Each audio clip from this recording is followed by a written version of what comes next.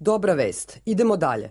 Tako je Aleksandar Vučić, potpredsednik SNS, prokomentarisao zeleno svetlo za kandidaturu Srbije. On je dodao da je Srpska napredna stranka još pre 5-6 dana rekla da očekuje dobijanje statusa kandidata za Srbiju. Status kandidata nam po sebi neće doneti bolji život ako mi ne izvršimo ozbiljne reforme u društvu, ako se ne izborimo protiv korupcije, ako ne pobedimo partijsku birokratiju, ako ne donesemo zakone kojima ćemo da regulišemo pitanje javnih nabavki, ako ne donesemo ono što smo mi nazvali a, kancelariju za brze odgovore kao neko novo rešenje. Ima i vesti koje nisu tako dobre i za naš narod na Kosovu i Metohiji. Kojih, na primjer? Pa, na primjer, od carina, prisustva albanskih policajaca i svega drugog. Dakle, to svakako je kompromis. Ali to treba da se kaže ljudima. Dakle, nemamo razloga za ushićenje.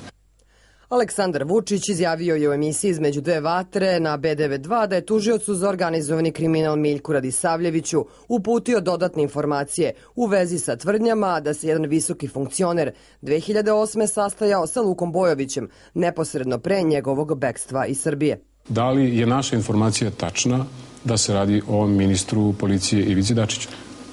Ja ću sačekati razgovor sa tužiocem. Pa dobro, potvrdite nam. Ja ću sačekati, nam, ja da ću sačekati, tačna? ja ću sačekati razgovor sa tužiocem i onda ću vam potvrditi ili on ili ja. Ni na koji način nećete da sarađujete po ovom pitanju? Sarađujem apsolutno. Vidite, ja sarađujem sa svim državnim organima. Oni mi pošalju pismeno, ja im istog sekunda odgovoram. Ali ja moram, moram ovako novinarski da spitam, ako već toliko ljudi zna, a zna na koga ste mislili, mnogi znaju i da ste to ime stavili, ja mislim da smo mi u pravu i da smo potpuno sigurni u ovo što vas pitam. Kakva je svrha održavanja toga što biste vi zvali, je li tajnom ili ne za pristupom nije pitanje, odgovornosti nije pitanje, građanske? Nije pitanje velike tajne, pitanje je pristo, pristojnosti i ozbiljnosti. Govoreći o predstojećim izborima, Vučić je naveo da SNS nema formiran kabinet u slučaju pobede, jer je, kako kaže, tim iz dana u dan sve jači i stručniji.